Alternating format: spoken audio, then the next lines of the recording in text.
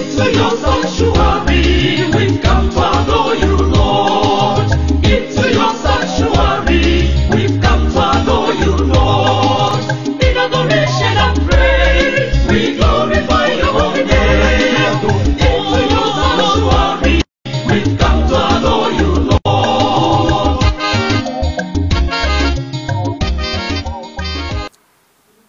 The name of the Father, and of the Son, and of the Holy Spirit. Amen. May the grace of our Lord Jesus Christ, the love of God, and the communion of the Holy Spirit be with you all.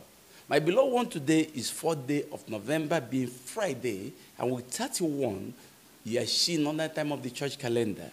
Today, the morning church celebrates St. Charles Borromeo, Bishop.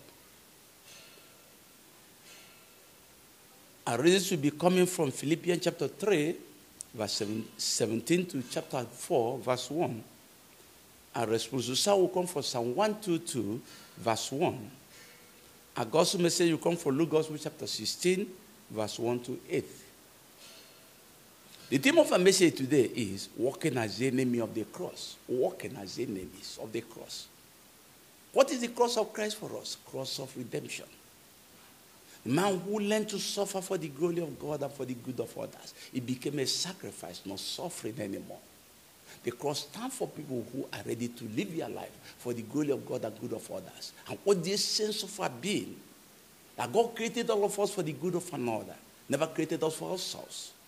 So when you talk about the cross of Christ, he carried this cross to glorify his Father for the good of others, to liberate others in bondage. He carried the cross to liberate us from death, to give us life, from poverty to give us riches, from curses to bring us blessings,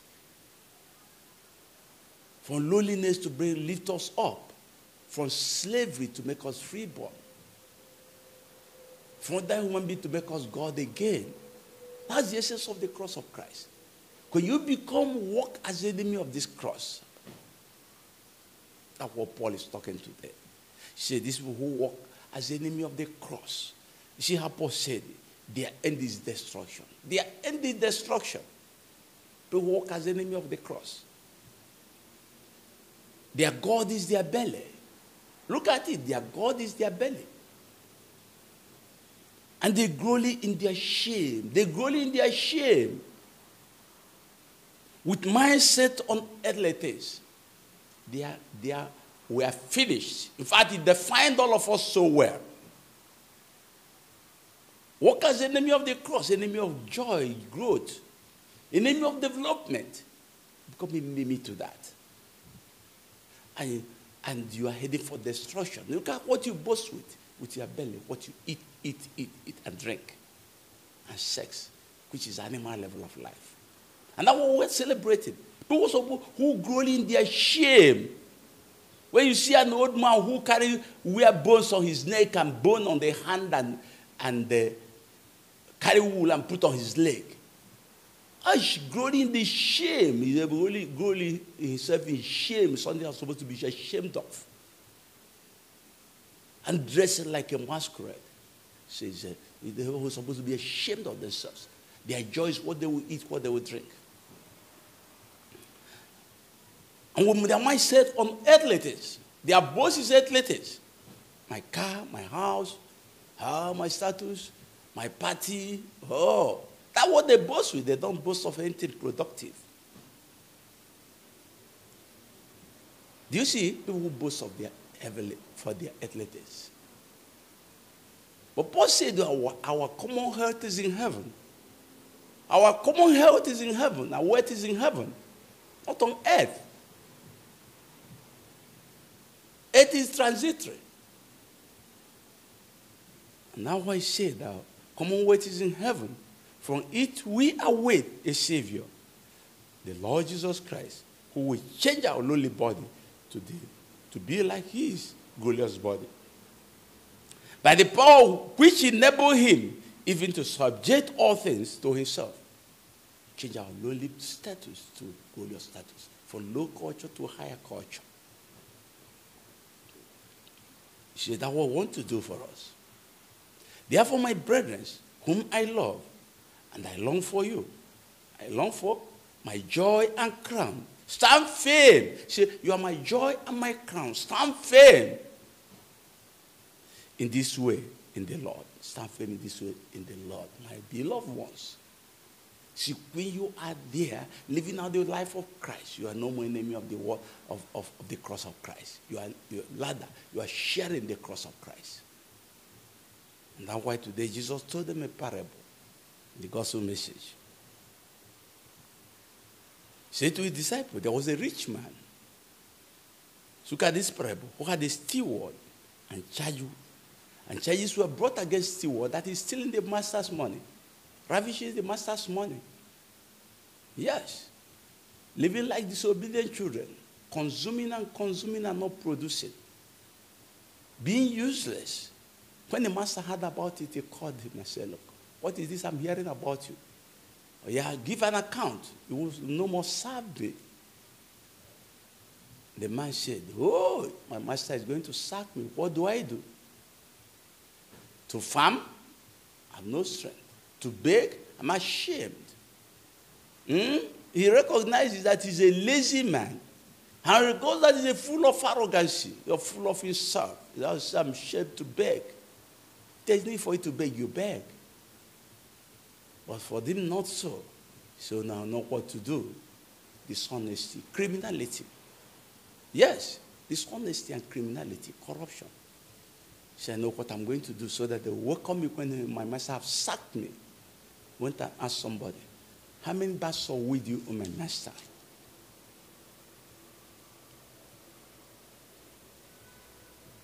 The man said, a hundred bag.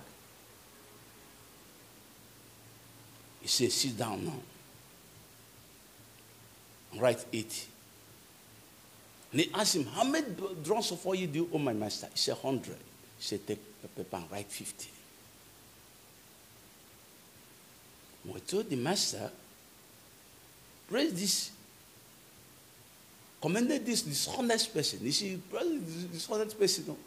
Said, you see, these the people who say that dishonest, that, that horrible good people. You know, more irresponsible you are in Nigeria, the more responsible you are given.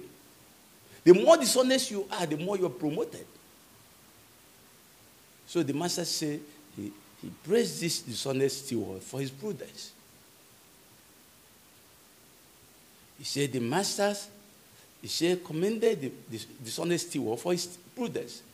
For the sons of this world are wiser in their own generation than the sons of light. You see how they can make from what they know and achieve what they don't have. And he said that we're the sons of light. These people can think in this way. Why not you think in a higher way as a son of light? That's the more reason why we're supposed to think higher than this. And they, so we'll not think like them who are enemy of the cross. We'll now think more of the glory of the cross and celebrate it and spend more time and energy on it. And that what the psalmist who understood this message today, this say, look at what the psalmist who understood the message say, say today. Let us go rejoicing to the house of the Lord. Let us go rejoicing to the house of the Lord. Yes. Person who now knows the truth and knows the best way life goes, the best of living, and said, Let's go rejoice to the house of the Lord. Not mourning to the house of the Lord. And rejoicing to the beer parlor. And rejoice in the flesh. But we now rejoice in the Spirit of God. That's the difference. That's the opposite. And that's why today we say Saint, Saint Charles Borromeo, a bishop. Borromeo was born in 1518, a member of Medici family, a very wealthy family, known family. After studying, after be, be, becoming a lawyer, his uncle, Pope Pius IV, summoned him to Rome. And when he came, he made me a cardinal. And he spent his greater energy implementing the, the, the Council of Trent decision. He spent greater time doing that. As a very young man, as even as a little person, was made a cardinal. Later was made a bishop. And was made sent to be bishop of Milan. And in that place, he has built his zeal for the apostolate. He built several, he built first sem- seminaries. and was contained the abuses among the clergy. Was able to establish the foundation of faith grounded in this in the in the in the decision of the church, in the council of Trent mostly. And do you see how this young man, and we're told he died in 1584, died very young.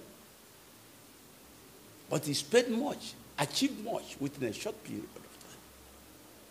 He walked, he didn't walk as enemy of the cross. Rather, he shared in the cross of Christ.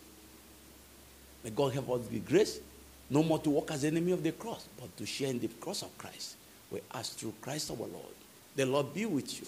May the blessings of Almighty God be upon all of us who is shown walking around as enemy of the cross of Christ, the name of the Father, of the Son, and of the Holy Spirit. Peace be with you all.